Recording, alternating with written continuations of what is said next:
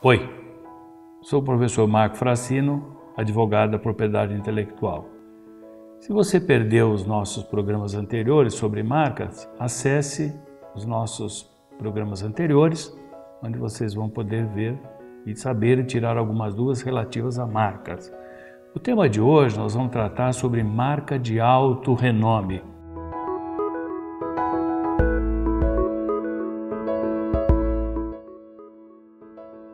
Marca de alto renome é o nosso tema de hoje.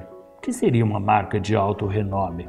É uma marca que tem registro há muito tempo, ela tem uma penetração em todo o seu mercado, ela tem um alto grau de reconhecibilidade e ela goza de proteção legal nas 42 classes do INPI. Ninguém pode ter uma outra marca similar a essa independente do produto em que ela fabrica.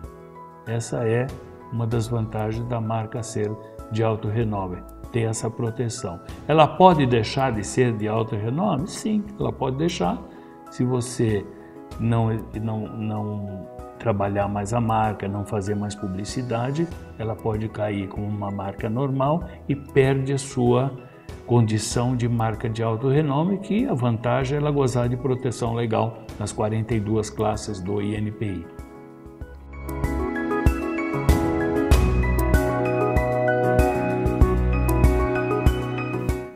Próximo programa e continuação, nós vamos tratar de marcas não registradas no Brasil.